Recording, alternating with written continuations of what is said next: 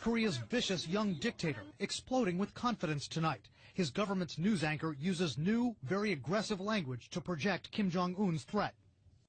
Kim Jong un said we now have the clear capacity to directly and realistically attack American bastards who continue to attempt to invade the Pacific.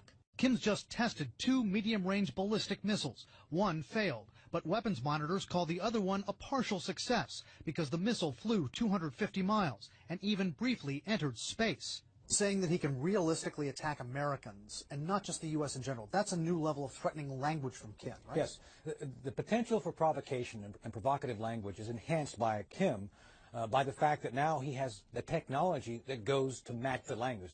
When Kim perfects the so-called Musudan missiles he just tested, experts say he'll be able to strike the Aleutian Islands in Alaska or U.S. military units on Guam.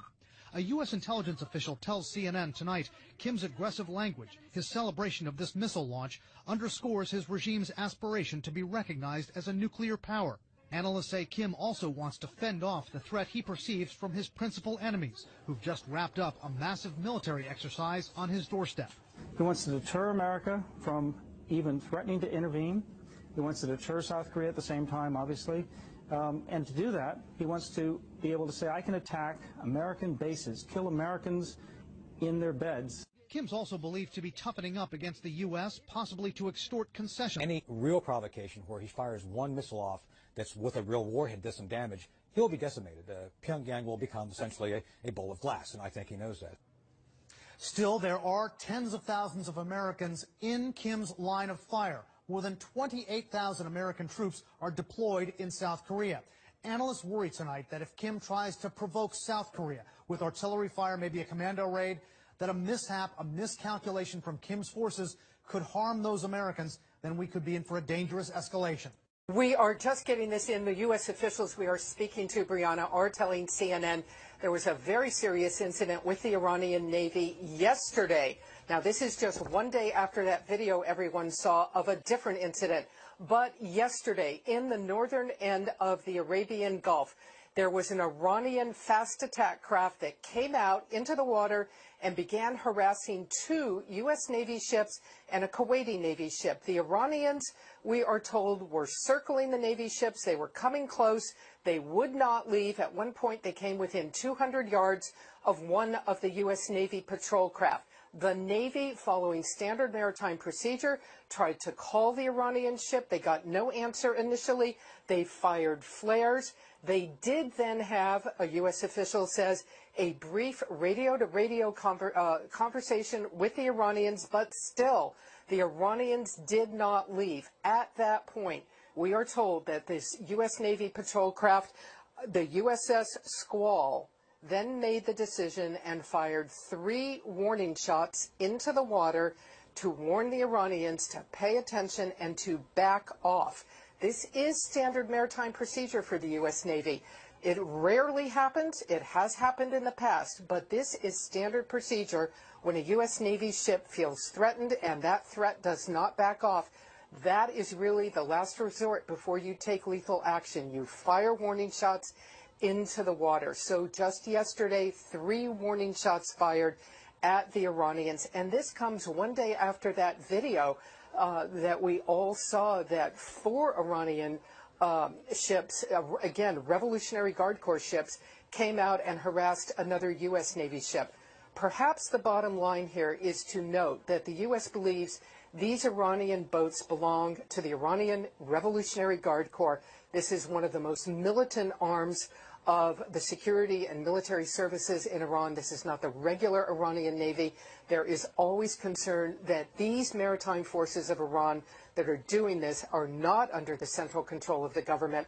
And there is always concern that things can get out of hand. The U.S. Navy yesterday taking the action to fire warning shots at the Iranians and tell them to back off.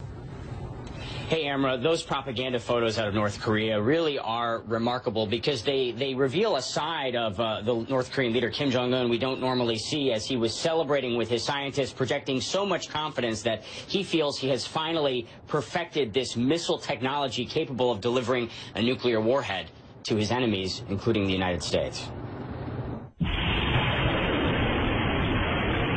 Rising from the waters off the eastern Korean peninsula, an ominous new threat from North Korea. The successful test firing of submarine-launched ballistic missile Pukguksong, meaning Polaris, the North Star. A weapon North Korean leader Kim Jong-un says puts the U.S. and its allies within striking range of a nuclear attack. A triumphant announcement on the North Korean news. State propaganda images claim to show a perfect launch. Before dawn Wednesday, anxiety turns to exhilaration. Kim Jong-un and his officers smiling, laughing as they track the missile some 500 kilometers, more than 300 miles, further than any previous attempt. The testing and the, the um, phase of the, the development is very rapid. A launch attempt just last month failed. A missile fired four months ago in April traveled just 30 kilometers, around 18 miles. Analysts believe Wednesday's missile traveled 16 times further, meaning it can strike anywhere in South Korea, home to 50 million people and some 25,000 American troops. The latest launch as U.S. and South Korean forces engage in annual military exercises, similar to these in the spring. Pyongyang used the annual drills as a direct provocation. Troy University professor Daniel Pinkston says war games are vital to keep the peace. Uh, looking at North Korea's capabilities, um, their development programs for weapons of mass destruction and their delivery systems, the shrill rhetoric that comes out of uh, Pyongyang, their objectives are very clear.